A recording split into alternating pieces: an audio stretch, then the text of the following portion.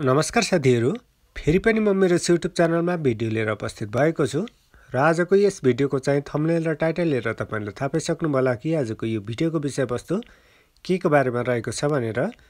र साथीहरू आजको यस भिडियोमा चाहिँ म तपाईँहरूलाई यदि तपाईँहरू अहिलेको समयमा विभिन्न अनलाइन कारोबार गर्नको लागि ई सेवालाई प्रयोग गर्नुहुन्छ भने त्यो ई प्रयोग गरिरहँदा तपाईँहरूलाई कहिलेकाहीँ ई सेवाको फिचर सम्बन्धी कुनै जिज्ञासा हुनसक्छ या यी सेवा चलाइरहँदा तपाईँहरूलाई कुनै समस्या आइपर्न सक्छ जस्तो कि तपाईँहरूले कुनै ब्याङ्कमा फन्ड ट्रान्सफर गर्न खोज्नुभयो या यी सेवादेखि यी सेवामा तपाईँहरूले रकम ट्रान्सफर गर्न सक खोज्नुभयो भने त्यतिखेर तपाईँहरूलाई समस्या आउनसक्छ अनफर्चुनेटली।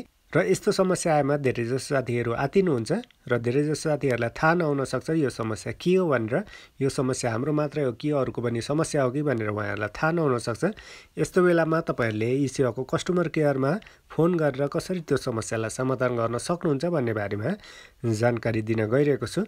तपाईँहरूले इमेल मार्फत पनि त्यो समस्या समाधान गर्न सक्नुहुन्छ र ई सेवाको सपोर्ट टिमको जुन टोल फ्री नम्बर रहेको छ यसमा पनि सम्पर्क गरेर तपाईँहरूले आफ्नो समस्या समाधान गर्न सक्नुहुन्छ। र ई सेवामा हामीहरूले कसरी इमेल पठाउन सकिन्छ त्यो एड्रेस कहाँ रहेको हुन्छ हामीहरूले कसरी पत्ता लगाउने र टोल फ्री नम्बर पनि हामीहरूले कसरी पत्ता लगाउने भन्ने बारेमा म तपाईँहरूलाई जानकारी दिन गइरहेको छु।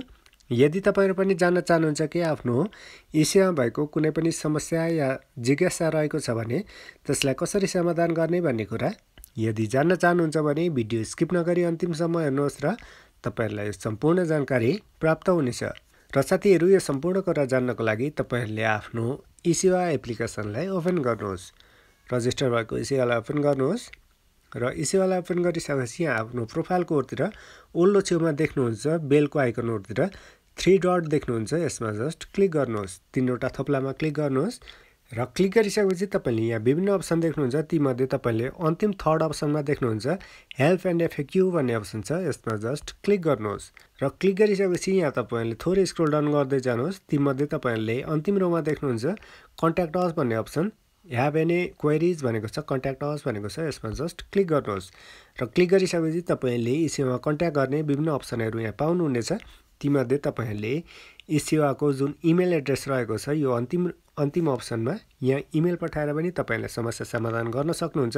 भाइबरबाट पनि आफ्नो सेवाको समस्या समाधान गर्न सक्नुहुन्छ। कुनै पनि जिज्ञासा रहेको छ भने तीमध्ये सबैभन्दा सजिलो रहेको छ। मलाई चाहिँ सजिलो लागेको यो टोल फ्री नम्बर रहेको छ सोह्र साठीवाला एनसिएल या एनडिसी नम्बरदेखि तपाईँले यो टोल फ्री नम्बरमा फोन गरेर आफ्नो सेवा सम्बन्धी कुनै पनि जिज्ञासा या समस्या रहेको छ भने त्यसलाई समाधान गर्न सक्नुहुन्छ। यो माथिको फर्स्ट अप्सनको फोन नम्बरमा फोन गर्नुभयो भने तपाईँहरूलाई पैसा लाग्छ त्यसैले यो टोल फ्री नम्बरमा फोन गर्नुहोला त्यसो गर्दा तपाईँहरूलाई पैसा लाग्दैन र यहाँदेखि तपाईँले डाइरेक्ट फोन गरेर यो सेवाको जुन कस्टमर केयरका मेम्बरहरू हुनुहुन्छ उहाँहरूसँग तपाईँहरूले डाइरेक्ट आफ्नो समस्या या कुनै पनि जिज्ञासा रहेको छ भने भन्न सक्नुहुन्छ त्यसलाई समाधान गर्न सक्नुहुन्छ। र साथीहरू यो सजिलो तरिका रहेको थियो। यी सेवाको कस्टमर केयरमा हामीहरूले कसरी फोन गरेर यी सेवा सम्बन्धी कुनै पनि समस्या या जिज्ञासा रहेको छ भने त्यसलाई कसरी समाधान गर्ने भन्ने कुरा मैले तपाईँलाई सिकाएको थिएँ। यदि तपाईँहरूलाई आजको भिडियो इन्फर्मेटिभ लागेमा अवश्य लाइक गरेर सेयर गरिदिनुहोस् र यस्तै यस्तै भिडियो पाउनको लागि मेरो च्यानल सब्सक्राइब गरेर अल नोटिफिकेसन अन गरेर बस्नुहोस् ताकि मैले हालेको यस्तै भिडियोहरू तपाईँको नोटिफिकेसनमा सबभन्दा पहिला प्राप्त हुनेछ।